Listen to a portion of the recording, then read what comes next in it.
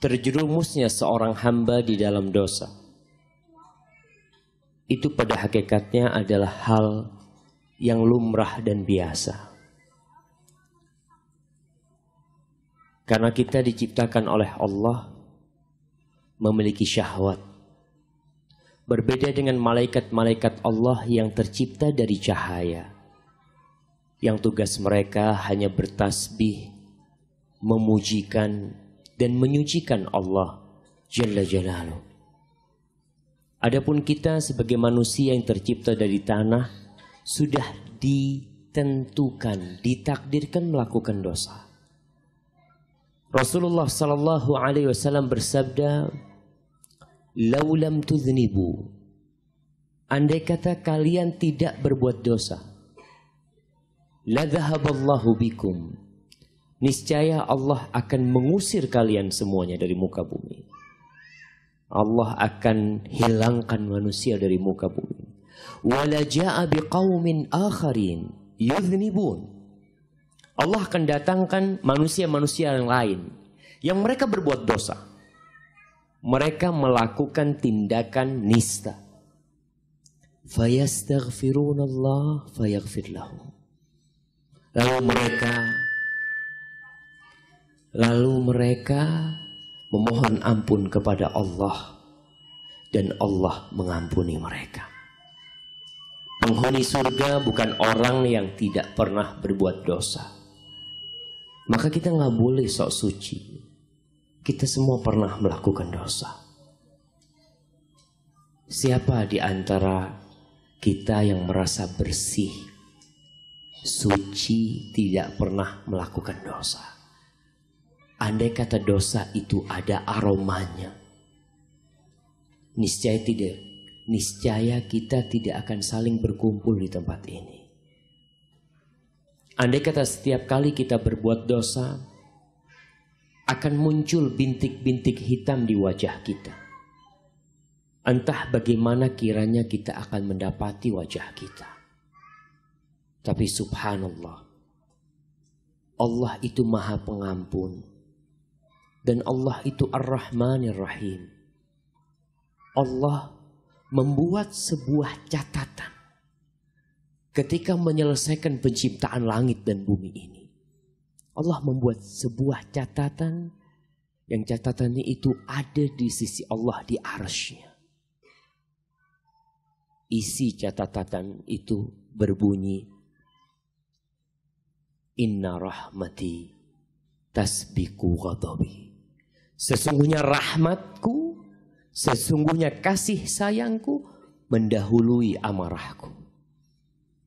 Tatkala kita melakukan dosa, ada dua malaikat yang mencatat. Malaikat rahmat dan malaikat azab. Malaikat yang mencatat kebaikan tatkala seorang hamba melakukan dosa. Rasul Shallallahu Alaihi Wasallam bercerita bahwa komando berada di tangan malaikat pencatat kebaikan ma yalfidu min qawlin illa ladaihi raqibun. Ya, ada yang mencatat. Tapi malaikat pencatat kebaikan berkata kepada malaikat pencatat keburukan.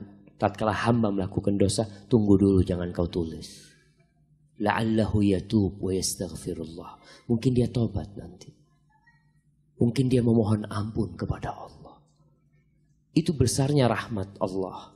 Ketika seorang melakukan dosa, Allah catat satu dosa, satu dosa. Satu kesalahan dalam catatannya ada satu. Berbeda dengan kebaikan. Kita berbuat baik satu kali, Allah lipat gandakan menjadi sepuluh bahkan tujuh ratus kali lipat. Tatkala seorang niat berbuat baik, lalu tidak bisa melaksanakannya, Allah catat pahala buat dia. Sebaliknya, tatkala seorang hamba niat berbuat jahat, niat berbuat dosa, Allah nggak catat.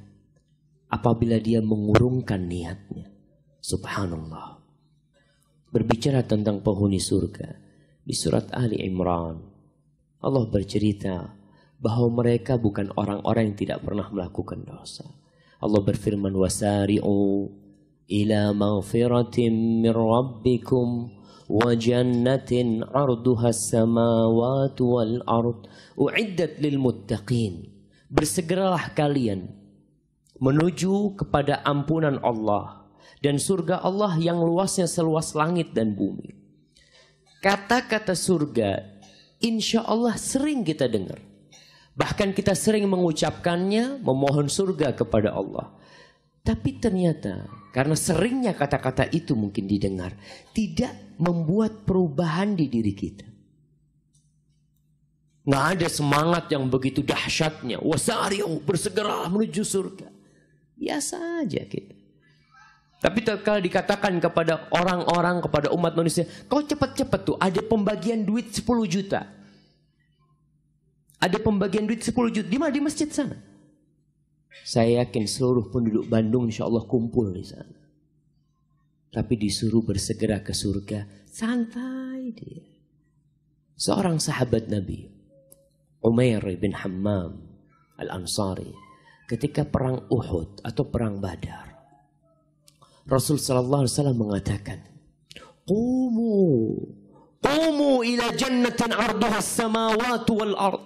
Kalian berdiri semua, beranjaklah semua menuju surga yang luasnya seluas langit dan bumi. Umar bin Hammam berkata kepada Rasulullah SAW, Ya Rasulullah, Wahai Rasulullah, jannatun arduha samawati wal ard. Itu surga luasnya seluas langit dan bumi. Kita bisa lihat luas bumi ini dibandingkan dengan luas galaksi Bima Sakti. Kecil, nggak kelihatan. Bagaimana surga itu seluas langit dan bumi? Umair bertanya, gimana surga yang luasnya seluas langit dan bumi? Kata Nabi alaihi salatu wasallam, "Na'am, jannatun arduhas samawati wal." Iya betul. Luasnya surga itu seluas langit dan bumi. Bakhin, bakhin.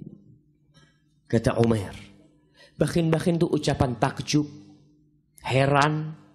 Maka Rasul bertanya kepada Umar, Ya Umar, Maha malaka antakula bakhin bakhin. Apa yang membuat engkau mengatakan bakhin bakhin?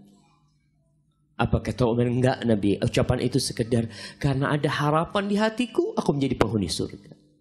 Ini mau perang nih. Akhirnya Rasul Sallallahu Alaihi Wasallam mengatakan kepada Umar, Anta min ahliha engkau termasuk penghuni surga wahai Umar. Subhanallah. Kesaksian dari Nabi sedangkan dia masih di muka bumi. Akhirnya Umar mengeluarkan tamarat beberapa butir kurma dari sarung pedangnya. Dia keluarin. Dia mau makan supaya dia lebih kuat untuk berperang. Mulai dia makan. Akhirnya dia teringat dengan surga yang luasnya seluas langit dan bumi. Apa kata Umar bin Hammam? La in ishtu hatta akula hadhihi tamarat la hiya hayatun tawilah. Andai kata aku hidup sampai menghabiskan kurma-kurma ini, itu kehidupan yang panjang kata dia. Dilemparkan kurma-kurma itu oleh Umar. Dan Umar lari ke tengah medan perang. Lalu dia tewas. Menuju surga Allah yang luasnya seluas langit dan bumi. Siapakah mereka? الذين ينفقون في السراء والضراء والكاظمين الغيظ والعافين عن الناس والله يحب المحسنين mereka adalah orang-orang yang suka berinfak subhanallah Allah menyebut penghuni surga adalah orang-orang yang berbuat baik kepada manusia kenapa kalau urusan hablum minallah salat itu yang dapat faedah siapa kita sendiri Orang yang rajin sholat ya udah kau dapat faedah. Tapi tatkala dia berbuat baik kepada orang lain, fisarra wa Dalam kondisi suka, dalam kondisi luka, dalam kondisi susah dia terus berinfak untuk Allah. Wal kadhimin al dia menjaga amarahnya. Wal afina 'anil nas memaafkan orang lain dan Allah cinta terhadap orang-orang yang berbuat baik. والذين إذا فعلوا فاحشة أو ظلموا أنفسهم ذكروا الله فاستغفروا لذنوبهم وما يغفر الذنوب إلا الله ولم يصروا على ما فعلوا وهم يعلمون penghuni surga itu adalah orang-orang yang apabila berbuat dosa bahkan berbuat keji berbuat dosa besar Subhanallah. Apa yang mereka lakukan? Zakarullah. Mereka ingat kepada Allah. Dia tahu Allah Ar-Rahmanir Rahim. Yang senantiasa dia makan. Ketika dia hendak makan. Dia sebut nama Allah. Bismillah. Dan Allah memulai kitabnya dengan Ar-Rahmanir Rahim. Zakarullah, dia ingat sama Allah. Fastaghfaru li dhunubihim. Lalu orang-orang ini memohon ampun kepada Allah atas dosa yang mereka lakukan. Siapa yang bisa mengampuni dosa kalau bukan Allah? Jalla jalla. Walam yusirru ala ma fa'alu. Nih, sifat penghuni surga, dia melakukan dosa. Naam. Tapi mereka tidak terus-terusan dalam dosanya. Dia udah tahu berbuat dosa, ya dia berhenti. Berusaha menarik dirinya. Orang yang seperti ini, Allah ampuni dosa-dosanya.